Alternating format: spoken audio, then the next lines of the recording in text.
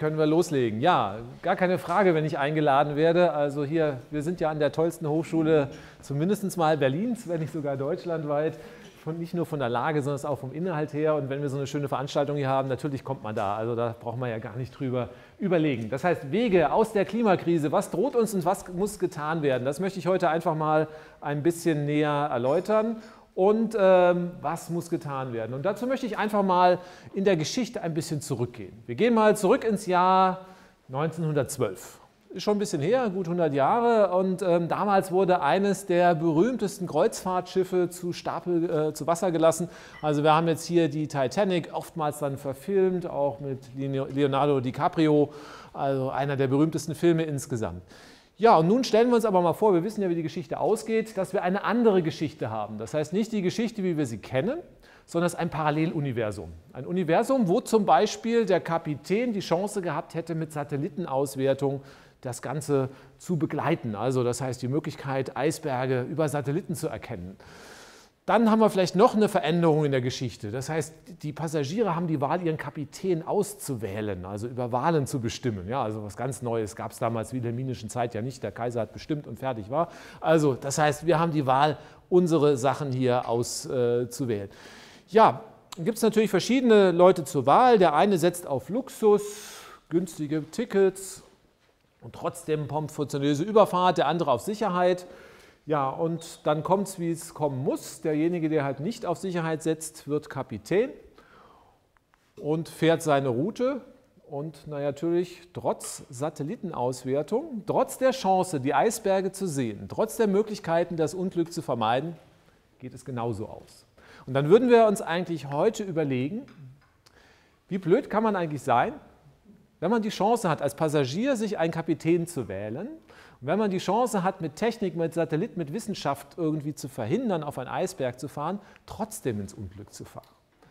Das ist eine Frage, die man so mitnehmen kann. Und ähm, Sie wissen, worauf ich hinaus will.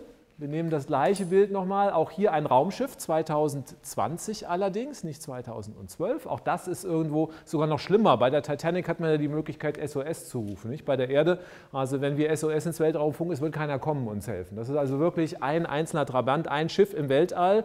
Und wir haben also praktisch auch die gleichen Möglichkeiten. Wir haben heute die Satellitenaufklärung. Das heißt, wir können Eisberge rechtzeitig erkennen oder andere Hindernisse, in welcher Art und Weise. Wir leisten uns eine Wissenschaft, die das macht. Wir haben auch die Möglichkeit, den Kapitän zu bestimmen. Das heißt also, auch das gibt die Demokratie vor, anders als in der wilhelminischen Zeit. Und was sagen uns die Satellitenaufnahmen, was sagen uns hier die äh, Warnungen vom Eisberg? Naja, dass es entsprechend hier andere Risiken gibt.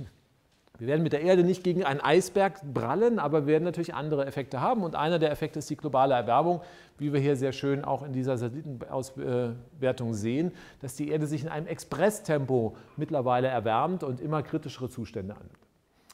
Ähm, wir können jetzt mal einen Blick in die Kristallkugel wagen. Auch dazu leisten wir uns relativ gute Wissenschaft. Das heißt, wir können jetzt die Erde modellieren in 3D-Klimamodellen, mit Großrechnern das Ganze dann ausrechnen. Also die größten äh, leistungsfähigen Rechner der Erde können dann Klimamodelle über die nächsten 100 Jahre entsprechend ähm, durchlaufen lassen und dann äh, auch Ergebnisse produzieren. Es gibt immer ganz viele Leute auf der Erde, die zweifeln das an. Sagen, weiß ich nicht, glaube ich nicht, habe ich zu Hause nachgerechnet, stimmt nicht. Also ähm, insofern, das ist immer, ja, kann natürlich sein, aber es ist, äh, dass da auch ein Einstein dabei ist, der auf andere Ergebnisse kommt. Aber sage ich mal, das gesamte Wissen der, der Wissenschaft, insgesamt der Klimaforschung der letzten Jahrzehnte ist in diesen Modellen entsprechend drin und also alle seriösen Forscher auf der Erde zweifeln so etwas eigentlich nicht an. Das heißt also, es funktioniert. Man kann ja auch gar nicht irgendwie äh, das wissenschaftlich perfekt nachweisen. Warum nicht?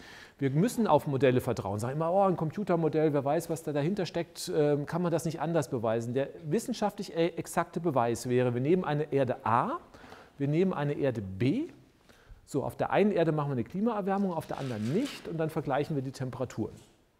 Es ist allerdings nicht in unserer Macht, diesen Versuch durchzuführen und deswegen gibt es nur die Möglichkeit, irgendwie zu modellieren, wie wäre das Klima, wenn die Vererdung nicht da wäre und dann muss man halt auch einfach diesen Modellen vertrauen, solange wir keine zweite Erde bauen können. Und ähm, es ist allerdings genauso fahrlässig, als Eisbergwarnungen zu äh, ähm, missachten, um so etwas hier äh, nicht zu sehen. Und wir sehen auch, ähm, wenn wir die Vergangenheit ansehen, dass bislang die Modelle leider ähm, immer sehr, sehr perfekt waren. Und wenn wir die Vergangenheit ansehen, können wir auch sehen, dass das Klima auf der Erde sich verändert hat. Das ist erstmal äh, nichts Außergewöhnliches. Wir sehen hier die letzten 20.000 Jahre der Klimageschichte.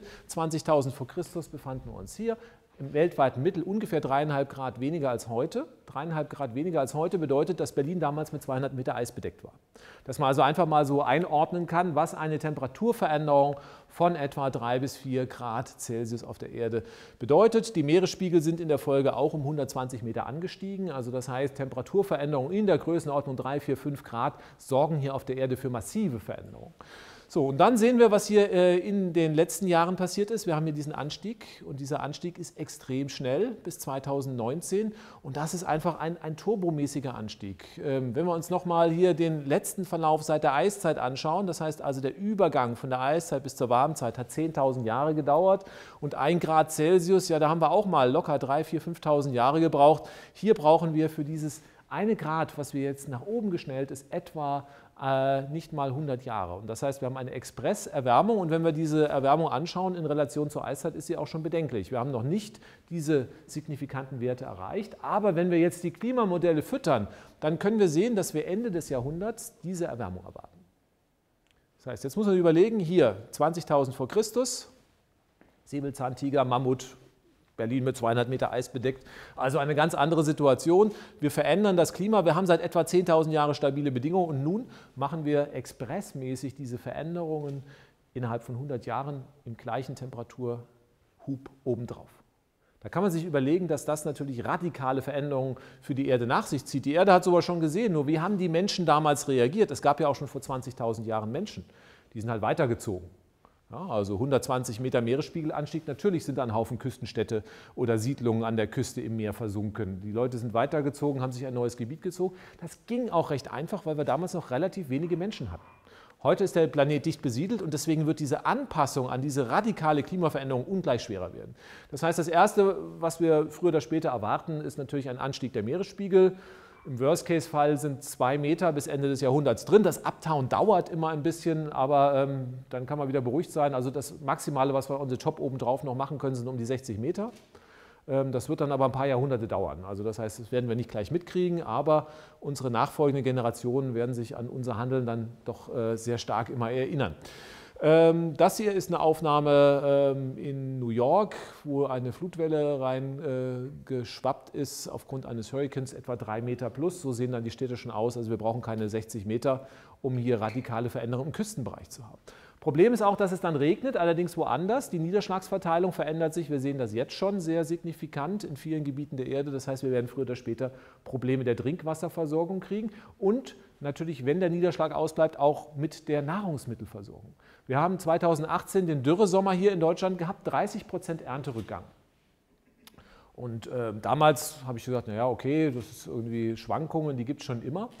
Bis mein Nachbar mich darauf gebracht hat, mal darüber nachzudenken. Er hat gesagt, du Volker, genau, ich bin ja hier ähm, eigentlich in Wessi und äh, zugezogen nach Ost, wohne in Ostberlin. Also eigentlich so, normalerweise macht man die Route ja andersrum, aber genau, ich bin jetzt ein Wahl-Ossi und habe total nette Nachbarn. Und einer hat gesagt, du Volker, du machst so viel mit dem Klimawandel. Und äh, zu DDR-Zeiten hätten wir mit dem Klimawandel ein Problem gehabt. Ich habe gesagt, hä, was, wie, wo? Naja, ich habe gehört, 30 Prozent Ernterückgang. Das hätten wir im real existierenden Sozialismus nicht ausgleichen können. Da war ich also erstmal baff, weil das auch so eine Sache ist, die man als Wissenschaftler gar nicht drüber nachdenkt. Es ist heute so Gott gegeben. Naja, okay, da fehlt was, das gleichen wir entsprechend aus. Im Mittelalter hätten wir 2019 eine radikale Hungersnot gehabt, weil 2018 wir diesen Ernteausfall gehabt haben. Das heißt, das wäre in allen Geschichtsbüchern zu lesen gewesen, ein katastrophales Ereignis durch die Globalisierung momentan aufgefangen. Aber die Frage ist, was passiert, wenn es weltweit mal irgendwann nicht mehr reicht? Wenn die Dürren auf zwei, drei Gebieten eintreffen und wir das weltweit nicht mehr ausgleichen können. Man stelle sich einfach mal vor, Amerika hat 30 Prozent zu wenig Getreide und auf dem Weltmarkt gibt es nicht genug einzukaufen, um das aufzufüllen dann hofft man, dass nicht Donald Trump Präsident ist. Also das muss man ganz klar sagen. Also das sind Situationen. Was uns auch an der Wissenschaft äh, bedanken macht, dass also die Erwärmung auch vor Dingen die Lebensräume komplett durcheinander würfelt hier und äh, einige Sachen, Situationen zerschießen wird. Diese äh, Grafik hat mich auch ziemlich geschockt. Das ist eine Analyse von 2017. Und hier haben Kollegen und Kolleginnen einmal ausgerechnet, was passiert hier mit der Erde im Worst-Case-Fall. Das heißt also, ähm, wie verändern sich die Temperaturen, dass sie für den Menschen nicht mehr erträglich sind. Nicht mehr erträglich heißt, dass sie potenziell tödlichen Charakter annehmen können. Der Mensch ist relativ gut äh, im Ausgleich von Temperaturen. Also wenn wir draußen minus 30 Grad haben, eine gescheite Jacke anziehen, gar kein Problem. Also das heißt, das funktioniert ganz gut. 30 Grad nach oben ist auch kein Problem. 60 Grad geht auch. Also das heißt, wir können locker mal ein paar Minuten in die Sauna, sollte nicht zu lange sein. Man kann auch zwei, drei, vier Stunden durch die Wüste rennen. Das ist auch kein Problem. Großen Sonnenhut, dass wir keinen Sonnenstich kriegen und vor allen Dingen genug Wasser zum Nachschütten. Weil was macht der Mensch? Er schwitzt. Wenn er schwitzt, dann bildet sich hier Verdunstungskälte und dann kann der Körper seine Körpertemperatur wieder runterkühlen, trotz 60 Grad Außentemperatur. Problematisch wird es, wenn der Mensch durch Schwitzen nicht mehr ausgleichen kann. Das heißt also, wenn es 37 Grad oder 40 Grad Außentemperatur und 100% Luftfeuchtigkeit ist. Das ist eine sehr unangenehme Kombination. Der Mensch will natürlich auch versuchen, das auszugleichen. Er schwitzt. Jeder, der in den Tropen war, kennt das Szenario schon mal. Die Haut ist irgendwie klitschnass. Man verdunstet kein Wasser mehr und kann dann auch nicht mehr kühlen. Und dann heizt sich der Körper auf. 41, 42, 43 und dann ist Schluss. Und dann reden wir über potenziell tödliche Hitzetage, also Tage, wo man tagsüber dann als Mensch besser im Keller bleibt. Und ähm, hier sind die Anzahl der Tage, wenn wir eine globale Erwärmung von 4 bis 5 Grad hinbekommen, also wie sich die Erde verändert. Also dunkelrot bedeutet 365 Tage im Jahr. Es ist tagsüber von der Kombination Luftfeuchtigkeit und Temperatur so warm, dass man dort nicht längere Zeit im Freien bleiben sollte. Das muss man sich mal vorstellen, was das bedeutet. Wenn man sich hier guckt, Indien, hier, ganze äh, Indonesien-Raum fällt weg, Zentralafrika, Brasilien. Wir reden über Lebensräume von weit über zwei Milliarden Menschen. Und das heißt, diese werden ja nicht auf Dauer da bleiben. Also was ist das für ein Leben, wenn sie dann tagsüber irgendwie im Keller verbringen müssen? Das heißt, natürlich wird man versuchen, überall dorthin zu gehen, wo es noch weiß ist. Der Planet wird nicht abfackeln. Aber wir werden äh, das Problem haben, dass natürlich hier eine radikale Verschiebung stattfindet. Und das ist das, wofür wir uns am meisten Sorgen machen. Einfach diese Veränderung, dass die Leute sich an das Klima anpassen müssen. Klima anpassen heißt, dass wir die größte Bevölkerungswanderung in der Geschichte auslösen müssen. Eine Million Flüchtlinge, die wir in Deutschland gehabt haben, werden da Pillepalle sein. Und wenn wir sehen, sehen, wie schlecht unsere Gesellschaften mit dieser vergleichsweise geringen Zahl an Flüchtlingen zurechtkommen, dann ist das eine Situation, wo man wirklich ernsthaft Gedanken machen muss, dass das nicht friedlich an diesem Planeten vorbeigehen wird. Und deswegen warnen wir dringend davor, in diesen Zustand reinzugehen. Wir sind so eine der ersten Generationen, die das Problem erkannt hat und die letzte Generation, die dieses Problem noch lösen kann. Und deswegen müssen wir äh, hier wirklich einiges tun. Und einiges tun heißt aus Sicht der Wissenschaft, noch ist es ja nicht Gott gegeben, dass wir auf 4 bis 5 Grad plus kommen, sondern wir können noch auf 1,5 Grad Celsius in etwa die Temperatur begrenzen. Das ist auch das, was empfohlen wird. 1,5 Grad Celsius ist nicht wenig. Das ist im Vergleich zur letzten Eiszeit schon eine signifikante Veränderung. Aber wir sagen, dann werden diese Veränderungsprozesse hier auf der Erde, die dann auch schon stattfinden, so langsam ablaufen, dass der Mensch wahrscheinlich noch in der Lage ist, darauf zu reagieren, es zu beherrschen und in den Griff zu bekommen. Und deswegen müssen wir tunlichst darauf hinarbeiten, möglichst auf 1,5 Grad Celsius die globale Erwärmung zu begrenzen. Nun kann man auch wieder anhand der Klimamodelle ausrechnen, was das bedeutet für den Ausstoß an Treibhausgasen, was wir noch ausstoßen dürfen. Und da ist es relativ ernüchternd. Das heißt, wir können die Restmenge an Kohlendioxid noch ausrechnen, wenn wir sicher unter 1,5 Grad Celsius bleiben wollen was übrigens auch ein Regierungsziel ist äh, im völkerrechtlichen Abkommen von Paris. Also das Pariser Klimaschutzabkommen sieht diese Grenze ja auch vor. Das heißt, eigentlich müssten alle Regierungen auch irgendwas machen, um das einzuhalten.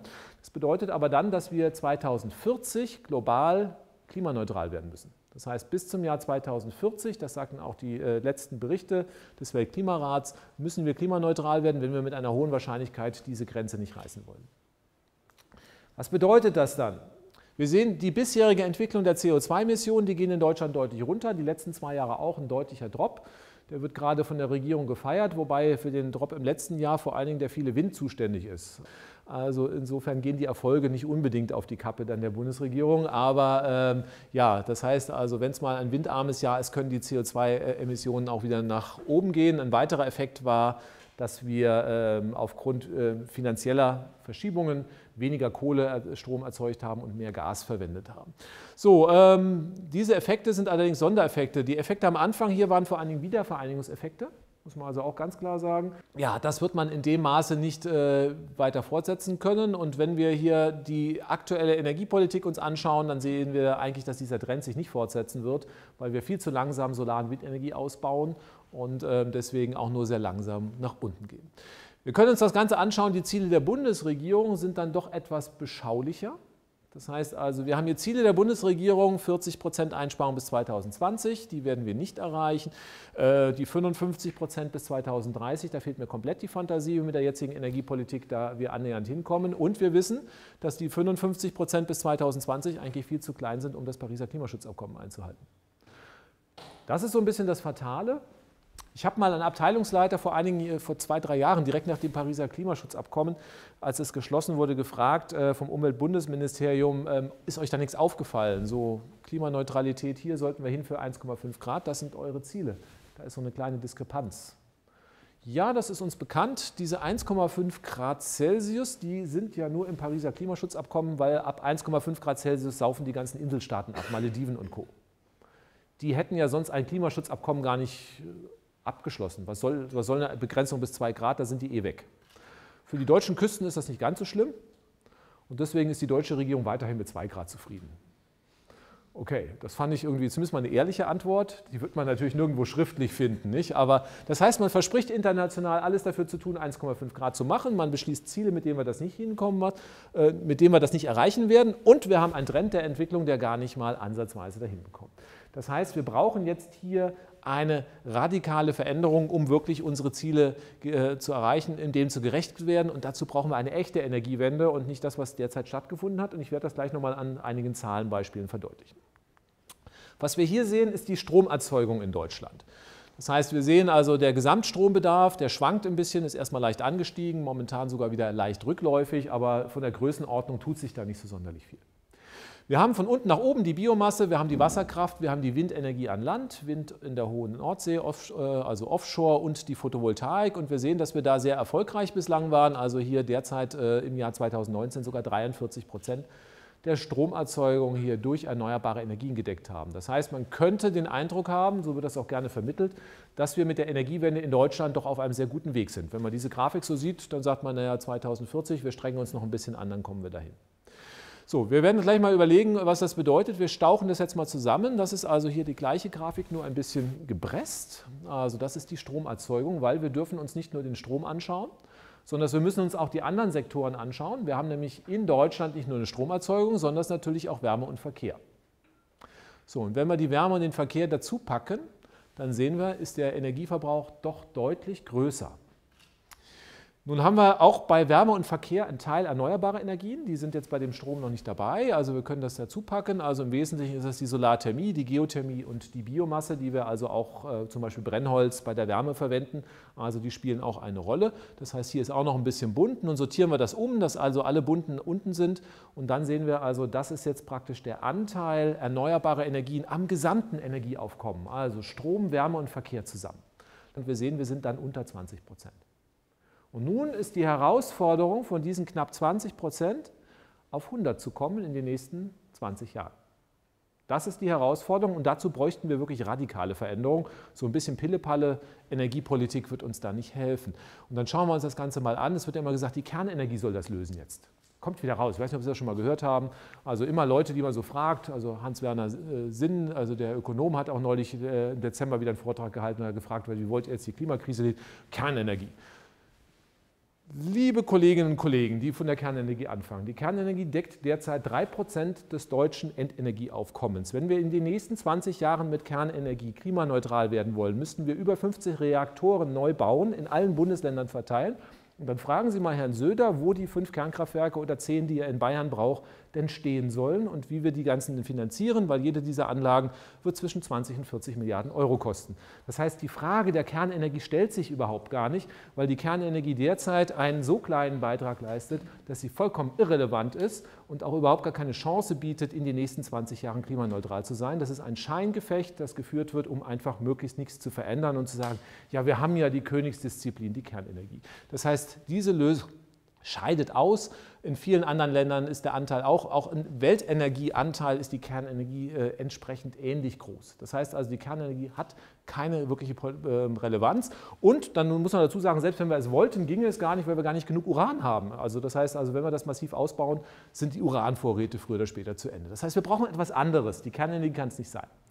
Und deswegen brauchen wir eine Kombination. Das heißt, die Kombination wird erstmal sein, dass wir hier den Energieverbrauch senken müssen. Und zwar relativ radikal. Das ist natürlich hier angesichts der Entwicklung doch eine sehr große Disruption. Da werden wir nur überlegen, wie wir da hinkommen. Und dazu schauen wir uns zwei Bereiche an. Einmal die Wärme und einmal den Verkehr. In der Wärme kann man relativ viel einsparen. Wir können die Gebäude genauso warm kriegen, wenn wir sie gescheit einpacken. Also das heißt, eine Halbierung des Wärmebedarfs geht, allerdings nicht mit der Geschwindigkeit, wie wir Gebäude dämmen. Also da müsste man natürlich einiges verbessern. Natürlich nicht mehr die Öl- und Gasheizung verwenden. Möglichst sofort ein Gebäude, äh, eine neue Öl- oder Gasheizung lebt 20 Jahre. Wir wissen, dass wir ab dem Jahr 2040 kein Öl und kein Gas mehr verbrennen dürfen. Also dürfen wir eigentlich auch keine neuen Öl- und Gasheizungen mehr einbauen, und zwar eigentlich ab diesem Jahr. Ähm, Länder wie Dänemark haben das schon lange beschlossen. Die Bundesregierung ähm, eiert da so ein bisschen rum. Also Gasverbot gar nicht in Diskussionen und Öl vielleicht in ein paar Jahren. Das kommt alles viel zu spät. Natürlich brauchen wir eine Alternative. Die Alternative wird im Wesentlichen die elektrische Wärmepumpe sein, weil man dort sehr effizient aus Strom Wärme gewinnen kann und damit geht der Endenergiebedarf um den Faktor 2 mindestens zurück. Wenn die Wärmepumpen gut eingebaut werden, eher 3. Damit haben wir im Wärmebereich schon einen sehr, sehr signifikanten Hebel, um was einzusparen. Gehen wir weiter in den Verkehrsbereich. Auch hier brauchen wir eine echte Verkehrswende. Eine echte Verkehrswende würde erstmal bedeuten, dass wir uns auch über eine komplett andere Mobilität Gedanken machen. Also einfach nur die Autos auszutauschen reicht nicht. Wir müssen schauen, dass wir die Anzahl der Autos reduzieren. Man kann ein einfaches Beispiel. Wir haben in Deutschland ähm, auf zwei Einwohner kommt etwa ein Auto, sogar ein bisschen mehr als ein Auto. Wenn wir versuchen, diese Autodichte auf den Rest der Welt zu übertragen, bedeutet das, dass wir weltweit statt 1,3 Milliarden 4 Milliarden Autos bräuchten. Und dann ist vollkommen egal, welchen Antrieb wir haben, wir werden das nicht umsetzen können. Das heißt, wir müssen schauen, dass wir die Anzahl der Autos auch hier in Deutschland mindestens halbieren. Ansonsten werden wir das nicht hinkriegen. Also viel mehr öffentlicher Nahverkehr, Radverkehr, all diese Konzepte brauchen wir zuerst.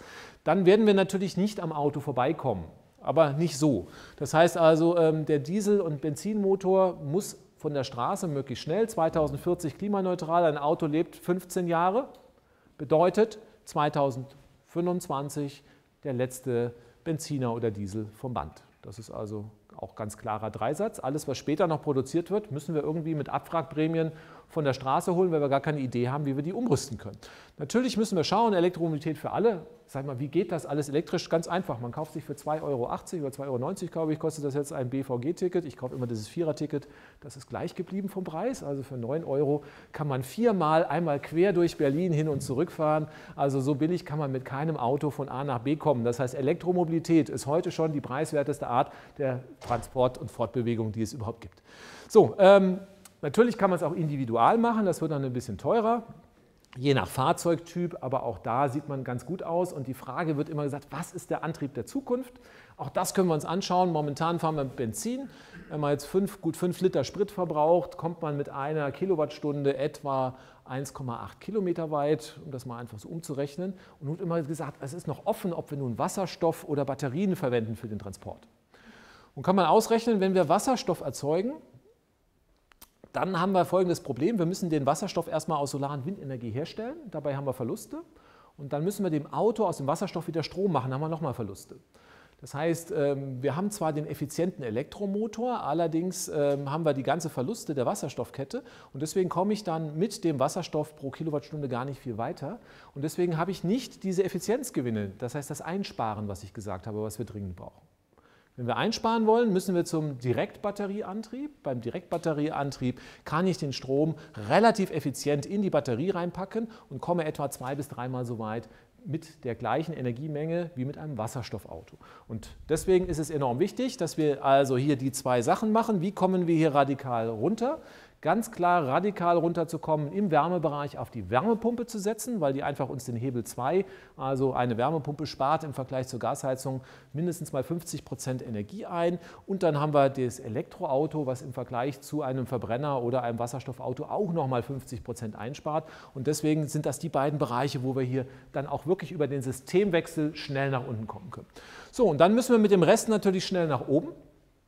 Dann können wir uns die verschiedenen Energieträger mal anschauen und durchdeklinieren. Also wir haben jetzt hier ähm, einzelne Energieträger. Ähm, ja, die Solarthermie kann man ausbauen, die Geothermie, Biomasse und Wasserkraft geht nicht so wirklich. Und die Treiber werden im Wesentlichen die Windenergie und die Photovoltaik sein. Das heißt, Biomasse, da fehlt uns das Holz, bei dem Wasserkraft fehlen uns die Berge in Deutschland, also um hier noch viel ausbauen zu können.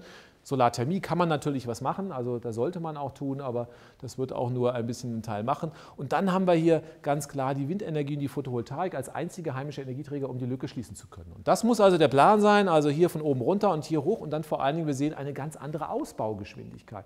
Und nun schauen wir mal, wir haben mal überschlagen, was wir ungefähr brauchen. Wir bräuchten ungefähr 7 Gigawatt Wind äh, an Land, 3 Gigawatt Offshore, 18 Gigawatt Photovoltaik pro Jahr. Und ich schreibe mal daneben, was wir letztes Jahr gebaut haben. Da sehen wir eine leichte Deckungslücke. Mich erschließt es sich nicht, wie wir mit diesen roten Zahlen auch nur ansatzweise in Deutschland eine Chance haben sollten, irgendwelche Klimaschutzziele zu erreichen. Und das war nicht Gegenstand des Klimapaketes, hier eine substanzielle Korrektur der Ausbaugeschwindigkeit von Solar- und Windenergie zu erreichen. Das heißt, die Bundesregierung hat nach wie vor keinen Plan, wie wir auch nur ansatzweise hier in den nächsten Jahrzehnten klimaneutral werden können. Also mit dem Klimaschutzpaket funktioniert es einfach nicht. Es ist über einen einfachen Dreisatz nicht zu berechnen, wie das Ganze funktioniert. Wir brauchen mehr Wind. Natürlich äh, muss das auch bedeuten, dass wir einiges zubauen. Wir haben jetzt hier also derzeit etwa 67, äh, wir haben derzeit etwa 29.000 Windräder in Betrieb. Und wir müssen die Anzahl gut verdoppeln. Die Windräder werden etwas größer und leistungsfähiger, sodass wir dann fast die vierfache Leistung erzielen können. Aber das müssen wir durchsetzen. Ohne die Anzahl dieser Windräder werden wir in Deutschland nicht ausreichend Strom erzeugen können, um klimaneutral zu werden. Dann müssen wir ihn importieren. Dann heißt es aber für jeden Windrad zwei Leitungsmasten. Ja, also das heißt, also es kommt nicht ohne irgendwas äh, vorbei. Das heißt also, irgendein Tod werden wir sterben müssen. Wir können es auch nicht durch Offshore ausbauen. Das Potenzial bei Offshore liegt ungefähr bei 70 Gigawatt. 1300 Windräder haben wir. Wir müssen dort 8000 hinstellen. Dann ist die Nordsee zu. Wir können das, was wir an Land nicht bauen, nicht kompensieren dadurch, dass wir in der Nordsee mehr bauen, weil es dort keine Kapazitäten gibt. Das heißt, die bittere Wahrheit heißt schon, dass wir an Land was bauen müssen. Bei der Windenergie sieht es derzeit so aus, hier haben wir 1990 bis 2017, das sind die Zubauraten. Rot hier, das ist die Neuinstallation von Windenergie, gelb ist Repowering, da wurden alte ersetzt durch neue und blau ist Offshore-Wind. Und da sieht man, bis 2017 sind wir ganz gut in Schreck. Und ähm, das sind die Mengen, die wir mal identifiziert haben. So müsste man weiter zubauen, um die Klimaschutzziele zu erreichen. Und das ist passiert. Das heißt also, durch die Versäumnisse der Politik, das war 2017 zu sehen. Ich habe einen Vortrag 2017 gehalten, wo ich genau diese Entwicklung vorausgesagt habe. Das konnte man auch über ganz, ganz einfache Projektionen in die Zukunft und der, äh, anhand der Gesetze ableiten, dass es so kommen wird. Das heißt, hier hat man mutwillig die Windenergie in die Sackgasse fahren lassen und hat jetzt hier gar keinen Motor mehr, um die Energiewende schnell voranzutreiben. Natürlich muss man schauen, dass es weitergeht. Was will jetzt die Regierung? Die Bundesregierung plant jetzt irgendwelche Abstände von 1000 Metern und danach sind die Leute alle ganz zufrieden, wenn es einen Mindestabstand, heute brauche ich auch 700 bis 800 Meter Abstand. Das heißt also, wenn ich jetzt 200 Meter we weiter weg bleibe von den Häusern, sind alle Leute ganz begeistert und äh, akzeptieren die Windenergie natürlich nicht. Das heißt, hier geht es vor allen Dingen der CDU-AfD-Wähler zurückzugeben, indem man sich als Anti-Windkraftpartei positioniert. Wir müssen die Leute abholen vor Ort. Das heißt, wir müssen schauen, dass es Bürgerbeteiligung gibt, dass die Leute vor Ort von dem Windpark profitieren, dass Geld dort bleibt. Und dann habe ich auch die Chance, die Akzeptanz hinzubekommen, dass neue Windräder gebaut werden. Abstandsregeln verhindern nur, dass wir gar nicht mehr die Flächen nötig haben. Das heißt also, die erweiterten Abstandsregeln müssen weg, weil ohne diese Flächen die die äh, Bundesregierung jetzt derzeit ausixt, haben wir gar nicht mehr die nötigen Flächen, um Deutschland klimaneutral gestalten zu können. Das ist also auch eine fatale Entwicklung. Und diese ganze Diskussion um die Windenergie verstehe ich auch nicht so ganz. Also es werden ja irgendwie, sollen ja Windräder auch in Wald gebaut werden. Zum Beispiel in Nordrhein-Westfalen oder so ist das äh, mittlerweile verboten, Windräder in Wald zu bauen, um den Wald zu schützen. Ich weiß nicht, ob jemand mal im, im, äh, letzten Herbst oder jetzt im Winter mal sich den Wald angeschaut hat. Also gerade die klimatischen Veränderungen äh, sorgen, dass es eine ganz radikale Veränderung im Wald gibt. Und wenn man mit Förstern redet, also die sind sich nicht einig, ob wir in 50 Jahren überhaupt noch einen Wald in Deutschland haben. Also ähm, das heißt, der beste Waldschutz, den es eigentlich gäbe, wäre natürlich hier vor allen Dingen äh, auch auf erneuerbare Energien zu setzen und den Klimawandel zu stoppen. Die Alternative ist auch übrigens diese hier. Also jedes verhinderte Windrad sorgt natürlich dafür, dass also an anderer Stelle irgendwo Energie gefördert werden muss und ähm, der äh, Schaden ist natürlich ungleich größer. Gut, das heißt also, wir brauchen bis spätestens 2030 den Ausstieg aus der Kohle, weil der auch einfach hier von den CO2-Emissionen eine Katastrophe ist. Und den Rest muss die Photovoltaik liefern, 400 Gigawatt insgesamt, 200 Gigawatt auf Gebäuden, 200 auf Freifläche. Also das ist ungefähr das, was wir noch bräuchten. Im Betrieb sind derzeit 49. Das heißt auch hier nochmal fast eine Verzehnfachung von der Solartechnik, die wir hier stehen haben. Chancen gibt es eigentlich genug. Das ist ein schönes Bild von Berlin. Das Einzige, was ich hier nicht gesehen habe, ist eine Solaranlage. Also ähm, insofern, äh, wir nutzen gerade mal ein Prozent der Dächer und da ist einfach viel Potenzial. Da wird immer sagen, wir müssen auf einen Leitungsausbau warten. Natürlich nicht. Hier sind überall Leitungen. Da können wir ein Programm machen. Wir können also hier sofort irgendwie die Photovoltaik verdoppeln, indem wir die Dächer voll machen innerhalb von einem Jahr, wenn wir das hinkriegen, ohne irgendeine Leitung neu zu bauen. Also das heißt, da ist genug Potenzial da. Wir müssen am Ende dann doch noch etwas auf die Freifläche stellen, aber auch hier gibt es sehr umweltverträgliche Möglichkeiten. Die finde ich sehr schön, weil wir hier Landwirtschaft und Solarenergienutzung kombinieren können. Also das funktioniert. Und die Flächen, die wir dann brauchen, sind ungefähr 1000 Quadratkilometer. Ähm, die landwirtschaftlichen Flächen sind insgesamt 182.000 Quadratmeter. Also Fläche sind genug da, wobei auch hier die Wutbürger wieder sagen, oh, das sieht aber nicht gut aus, das lassen wir lieber mal nicht. Aber ähm, das ist dann aber auch eher Geschmackssache. Natürlich brauchen wir dann am Ende auch Speicher. Das wird immer gesagt, naja, Solar- und Windenergie schwanken sehr stark. Momentan speichern wir vor allen Dingen mit solchen Pumpspeicherkraftwerken, solchen Seen. Wir brauchen etwa tausendmal so viel Speicher wie heute. Das ist gigantisch. Aber auch dafür haben wir die Konzepte. Äh, die will ich mal ganz kurz erläutern. Das heißt, wir werden also hier mit Solar- und Windenergie den Strom erzeugen, den erstmal möglichst direkt verbrauchen. Wenn wir Überschüsse haben, werden wir das in Kurzzeit speichern, erstmal zwischenpuffern in Batterien oder auch in Elektroautos, die ja auch durchaus eine größere Speicherkapazität haben. Ähm, das reicht dann für einige Stunden, für, für eine Woche oder für einen Monat wird das zu teuer und dafür machen wir dann Folgendes, dann werden immer noch Überschüsse anfallen. Aus diesen Überschüssen machen wir über Power to Gas dann Gas, das heißt wir machen, wie man es aus der Physik oder Chemie kennt, Elektrolyse. Da wird dann Wasserstoff und Methan erzeugt, das kommt in die bestehenden Erdgasspeicher und wenn wir dann Bedarf haben, holen wir das Gas wieder raus, machen wieder Strom draus und können dann die Lücke schließen. Und der Charme an diesem Konzept ist, dass diese Gasspeicher schon da sind. Wir haben ja jetzt schon eine sehr große Gasversorgung.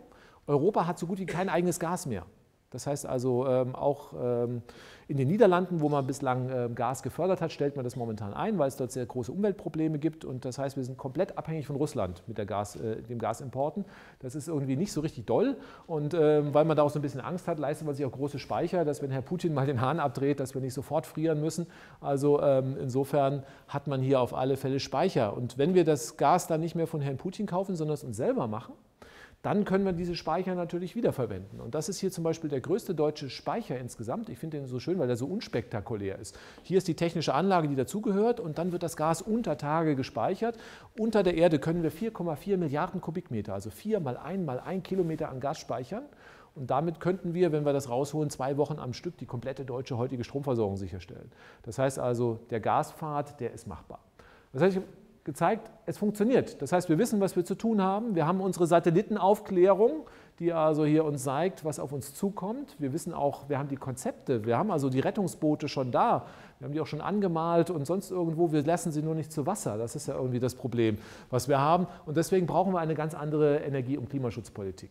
Und viele sagen immer, naja, ist das denn machbar? Schaffen wir das dann überhaupt in 20 Jahren? Ist das denn vielleicht denkbar? Und dann vielleicht einfach mal ein Beispiel aus der Geschichte. John F. Kennedy hat sich 1962 vor die Nation gestellt.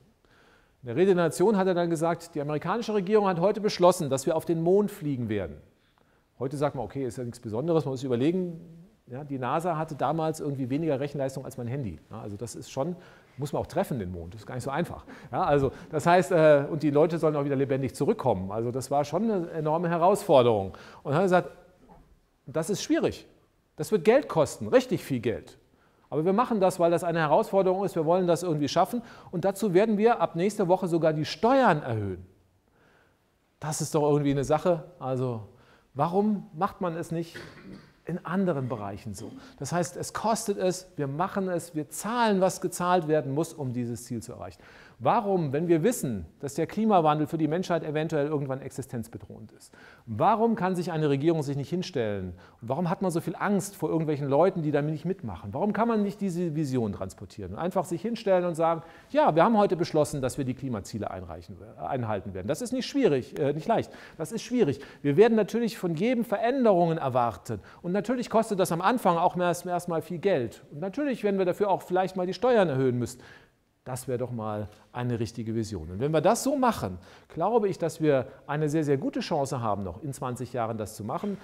Die Geschichte zeigt es uns. Die Amerikaner haben es geschafft, in sieben Jahren auf den Mond zu kommen. Sie haben mehrere hundert Milliarden Dollar verbrannt und haben ein Wettrennen gegen Russland gewonnen. Bei dem jetzigen Wettrennen geht es um den Weiterbestand der Zivilisation bei uns auf der Erde. Und insofern ist es wichtig, worauf warten wir noch? Wir haben einen Planeten zu retten. Ich glaube, es ist noch machbar. Den Weg dahin habe ich skizziert. Danke für die Aufmerksamkeit.